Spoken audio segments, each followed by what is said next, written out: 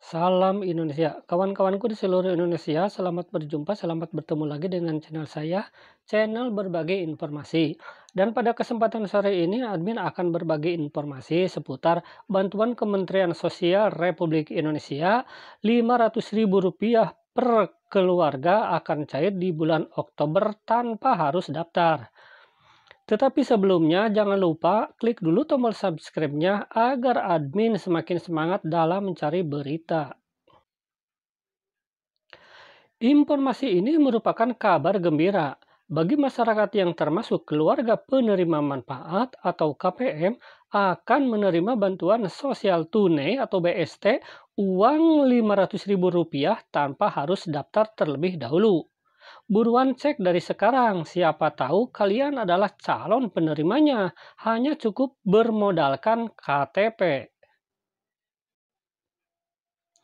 Kementerian Sosial Republik Indonesia memberikan bantuan tersebut sebesar Rp500.000 per keluarga dengan cara memenuhi kriteria yang sudah ditetapkan sebagai ketetapan yang berlaku. Dikutip dari Antara, program BLT Kemensos Rp500.000 ini akan diperpanjang hingga tahun 2021. Wow, keren. Mengingat kondisi pandemi corona yang belum reda. Sebagai masyarakat yang berhak mendapatkan bantuan tersebut, tidak perlu mendaftarkan diri untuk bisa mendapatkan bantuan ini. Lalu bagaimana? Cuman cek saja. Dan pada kesempatan kali ini, admin akan memberikan tutorial cara mengecek bantuan subsidi tunai Rp500.000 hanya bermodalkan nomor NIK KTP. Jadi, apabila nomor NIK KTP kita termasuk ke dalam penerima, maka akan mendapatkan keterangan.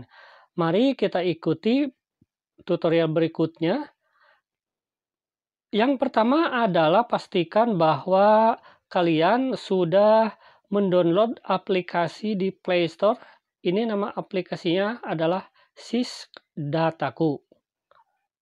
Ya, kalau sudah silakan untuk diklik. Maka setelah diklik tampilannya akan seperti ini. Dan kemudian silakan untuk diklik cek bansos. Maka tampilan selanjutnya akan seperti ini.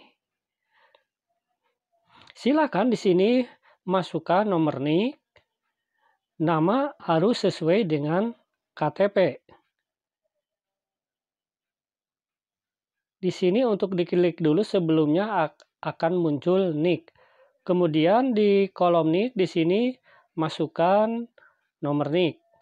Dan di sini masukkan nama sesuai KTP, kemudian centang bukan robot, kemudian klik cari. Maka apabila kalian merupakan calon penerima bantuan sosial tunai 500.000, tampilannya akan seperti ini.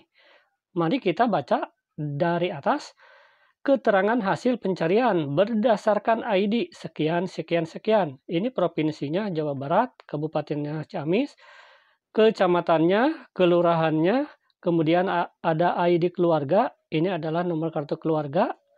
Kemudian ke bawahnya DTKS, ID DTKS, nama ini kebetulan tetangga saya Lasmi.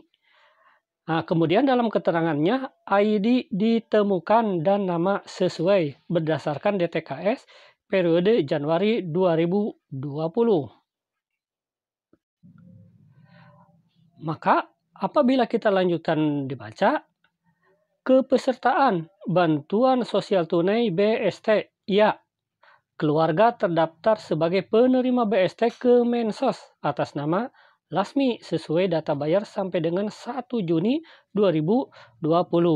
Kalau keterangannya seperti ini berarti kalian adalah sebagai penerima BST Rp500.000 tanpa harus daftar dan akan cair bulan Oktober.